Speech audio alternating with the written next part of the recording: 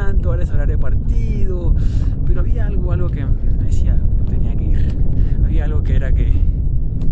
Pero ya ven que mi primo Carlitos quería venir y valió la pena todo el esfuerzo, ¿sí o no? Sí, huevón.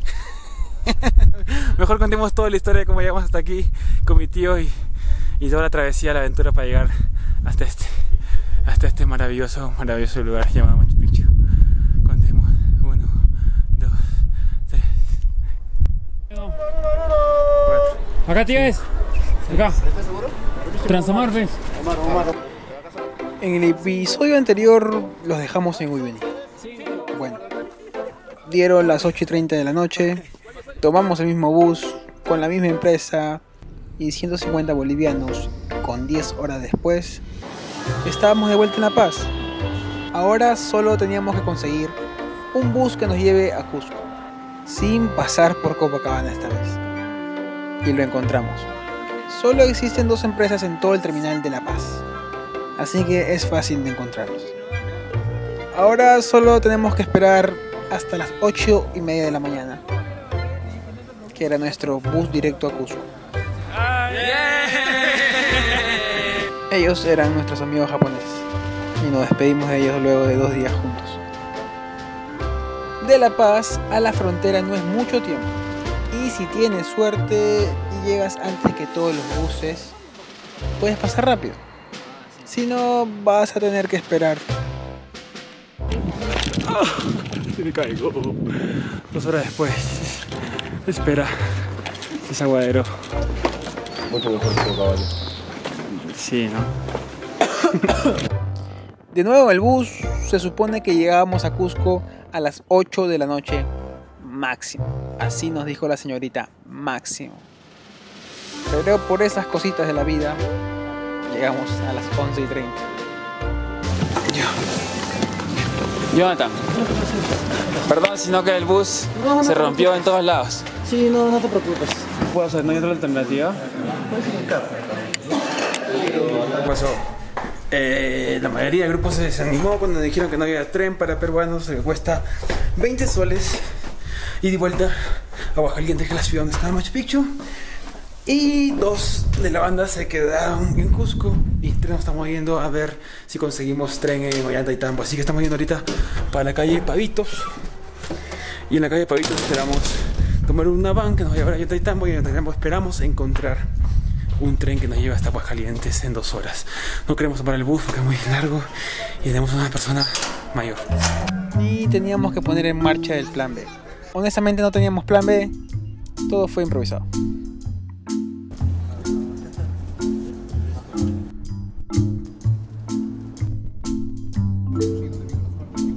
El pasaje solo cuesta 10 soles y te deja en la placita de Ollantaytambo, pequeño pueblo colonial que nos hubiera gustado quedarnos al menos una noche, pero no había tiempo.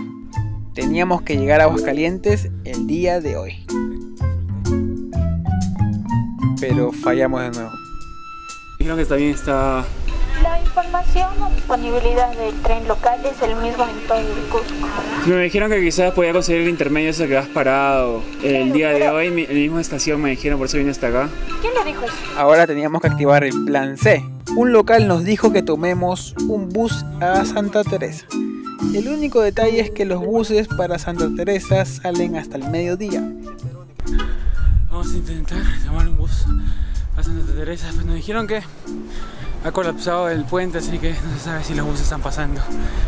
Ya no sabemos cuándo vamos a llegar a Machu Picchu. ¿En Machu Picchu? Hasta que unos minutos después se hizo la luz. Otro local nos dijo que vayamos hasta Romira, pueblo a 10 minutos en mototaxi, para que tomemos los colectivos que van a Vilcabamba y nos bajemos en Santa María y que de ahí podemos llegar a Santa Teresa. Esperamos, comimos, jugamos y el colectivo nunca llegaba.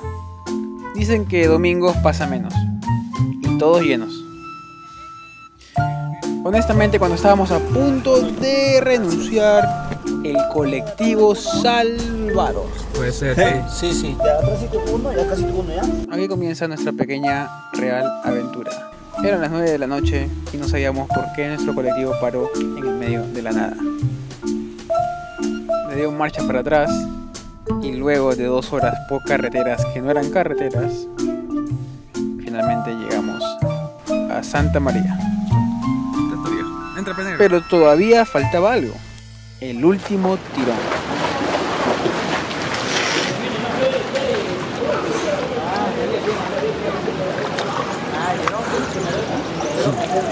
Después de una noche, una noche dura, tormenta, carretera. Pensaba que no llegábamos, pero Llovía, era tarde, pero igual decidimos tomar otro colectivo que nos iba a llevar a Santa Teresa. Lugar donde queríamos llegar originalmente.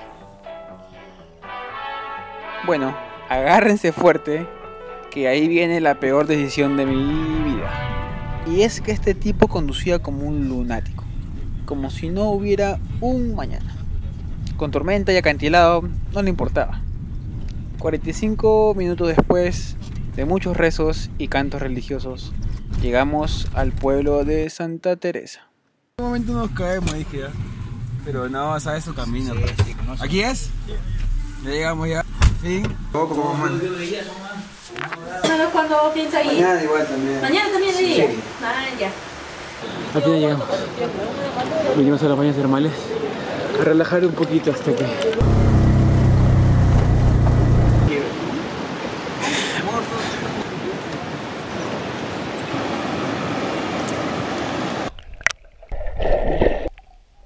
Venimos a las bañas termales a relajar un poquito hasta que tengamos que salir de nuevo para a ver si llegamos el día de hoy a Machu Picchu.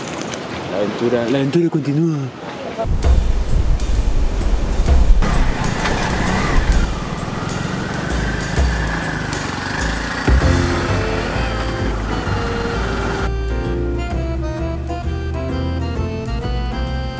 Santa Teresa es el pueblo más cercano a Aguascalientes.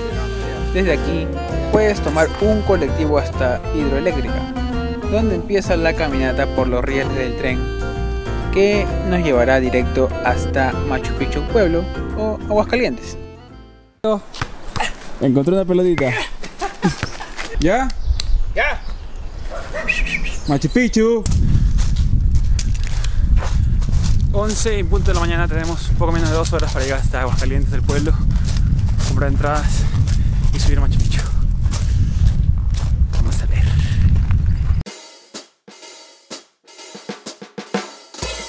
Tío, Machu Picchu. Machu Picchu, Machu Picchu. Machu Picchu, llego a Machu Picchu. Sí, vete por acá. Buenos días. ¿Por aquí, no? ¿Por allá? ¿Para arriba? Sí. Yo no recuerdo haber subido las escaleras. Pero.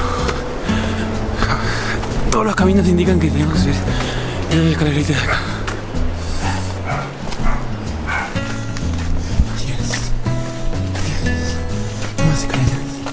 El camino no es nada difícil. No hay mucha elevación y la altura no se siente casi nunca.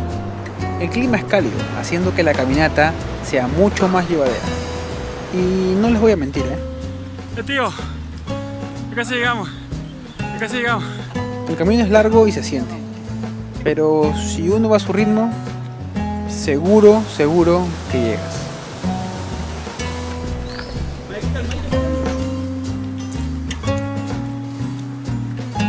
Todavía estamos fuertes, ¿eh? Media hora adentro. Son 11 y 40. Y todavía falta una hora más para llegar hasta el pueblo. Pero creo que estamos bien por ahora. Así que mi tío está yendo bien. Por ahora está con mucho ánimo. Eso es lo importante. Ahí, ahí está el Machu Picchu justo. 5 kilómetros más y ya estamos.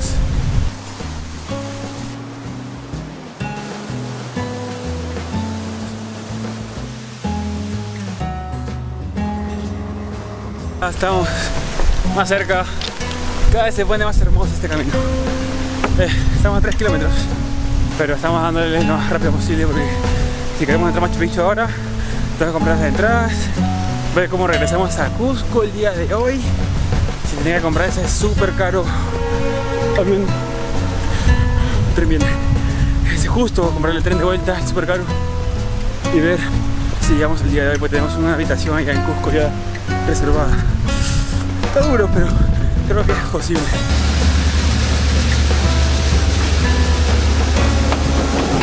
Y a la cara de cansancio ya que se nota mi primo y mi tío. ¡Ya falta poco! Para que vean, ¿ah? son las 1 y 35 y hemos llegado al pueblo. Nos hemos demorado aproximadamente 2 horas y 20 con mi tío caminando con nosotros. Así que si nosotros pudimos hacerlo, todos, todos a su ritmo pueden hacerlo. Todos, todos. Uf, calor, ¿eh? Ahora que llegamos al pueblo tenemos que hacer dos cosas. Buscar la oficina para comprar los tickets de Machu Picchu. Con nuestros pasaportes en la puerta, ¿no? Listo, muchas gracias. Comprar los buses. Buenas. Para comprar el bus para Machu Picchu. 151 soles. Y de vuelta para las 3, no sé. Y a ver si los puedo sorprender con él. Porque piensan que van a volver caminando. Yo creo que vamos a volver en tren. Está un poco caro, pero se lo merecen porque me he metido caña hoy día. Así que vamos.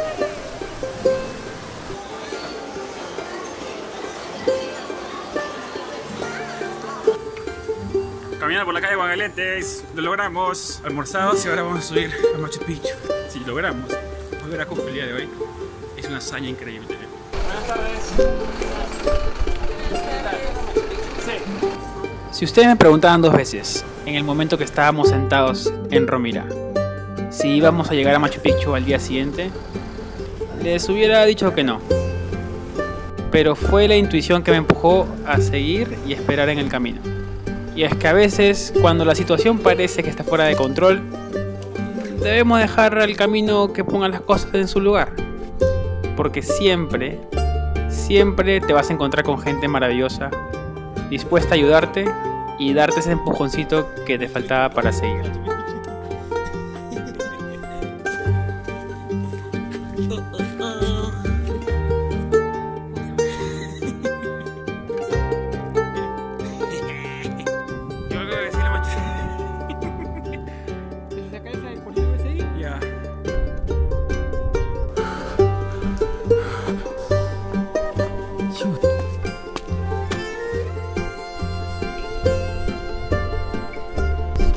Como no tenemos mucho tiempo, vamos a hacer la foto oficial y luego visitar las ruinas. Machu Picchu es un lugar fenomenal. Un lugar que vale todas las penas que pasamos para llegar.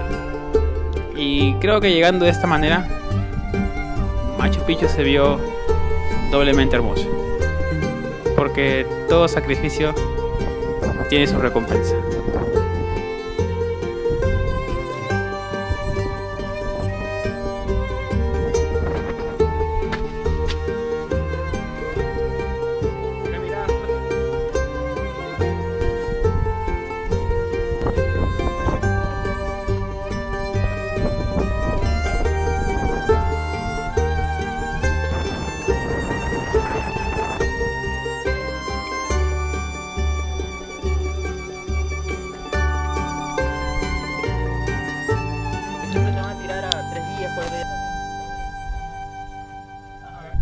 Campeón, mi tío, ¿va? dándole ahí arriba, abajo, arriba, abajo, arriba, abajo. Tío, logro cumplir, ¿va? Meta Chévere. cumplida, meta cumplida, meta cumplida. Negrito, Ahí el, el reparto, el reparto. Pasa, pasa nomás.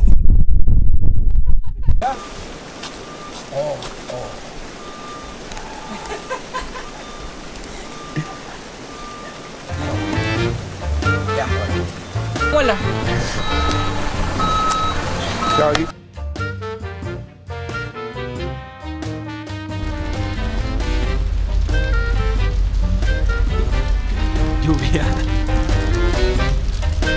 Vamos a ver si podemos ver el tren. Esta historia de la mejor manera.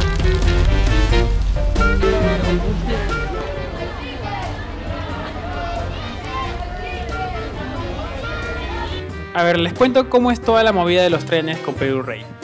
Hay una figura que se llama intermedio, que son los asientos que no se ocupan y los reparten por orden de llegada durante el día en cuatro horarios. Pero debes hacer cola desde mucho antes para que puedas agarrar un asiento. Yo le perdí la fe y la esperanza a esta empresa, pero a partir de hoy los odio más. Y jamás, jamás confíes en nada de lo que te dice Perú Rey. como ya vieron en el video, nunca te van a querer ayudar. Solo quieren vender sus boletos sobrevalorados.